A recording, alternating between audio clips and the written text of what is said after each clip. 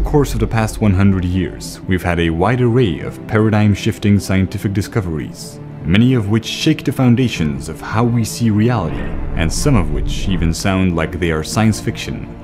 We know that matter is 99% empty space, and that quantum particles are zero-dimensional points. We can verify that time travel into the future is possible at high speeds, we have quantum particles that can teleport through impenetrable walls, be in two places at the same time, and change their behavior when there is a conscious observer. Quantum mechanics is much more than theories and interpretations. It provides undeniable and mathematical proof that everything we know and experience works in ways that are fundamentally surreal. And it isn't the only field in science that is making us think about our sense of reality. Neuroscience studies the nervous system, and it has given us many insights about what is still the most profound mystery in biology consciousness. The definition proposed in 2012 is that it is the sum of the electrical discharges occurring throughout the nervous system. When this activity becomes unusual due to, for example, brain injury, we experience things very differently.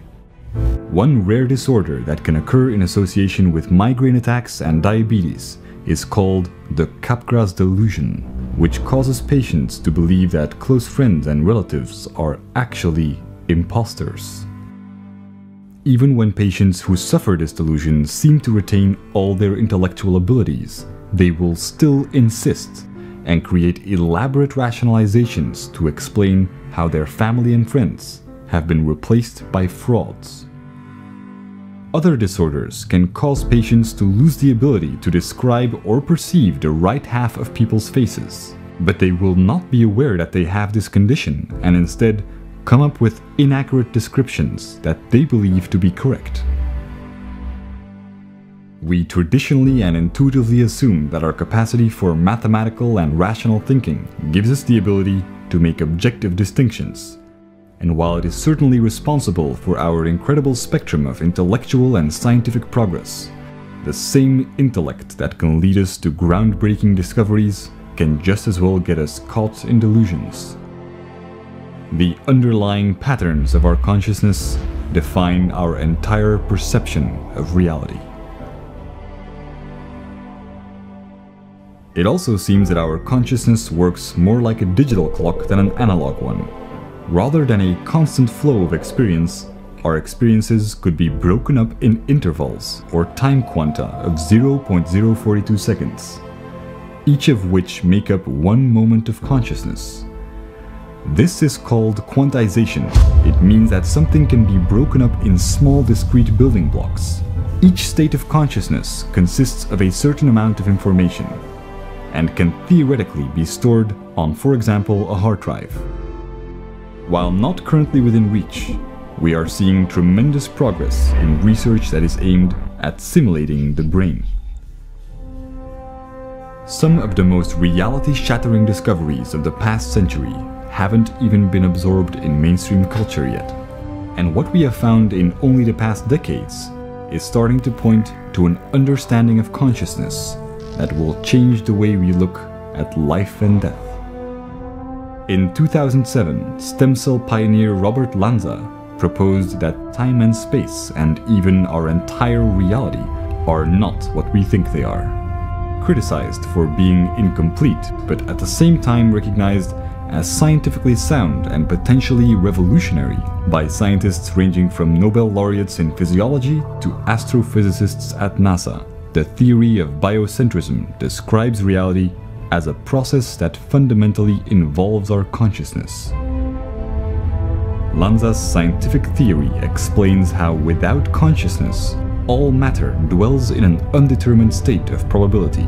Time has no real existence, and space is just a concept we use to make sense of things.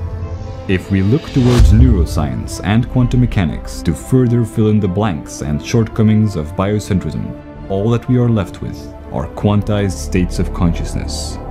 Reality how we know it does not exist, and if it had any sort of existence that we could visualize, it would look something like this. An endless sea of static, of information in which all probabilities exist. Imagining all these probabilities within a zero-dimensional space without time is not easy, but it is perhaps as close as we'll ever come to imagining what reality really is.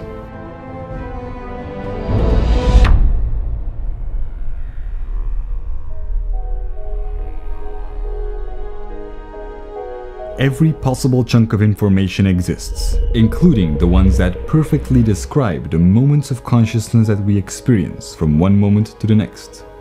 In quantum mechanics, we have had theories of a holographic universe, where the entire universe could be seen as a two-dimensional structure containing all the information that we seem to perceive in three dimensions.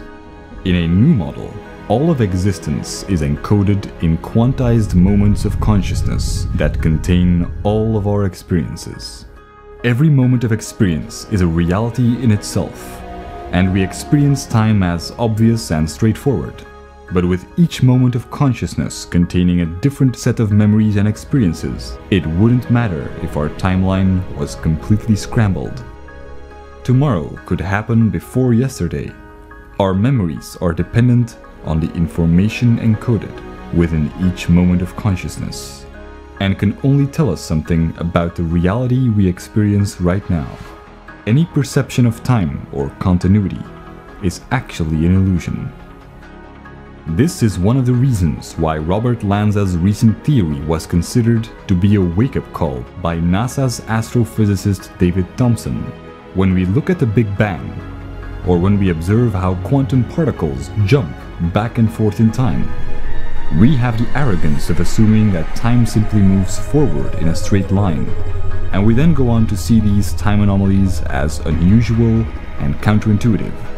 But there is no indication that our perception and memories define the arrow of time.